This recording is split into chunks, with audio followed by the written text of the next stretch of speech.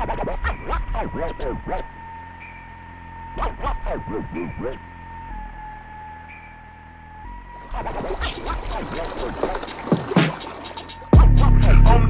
on my clip, got a plan for tonight. A Glock in my hand, in my pocket is a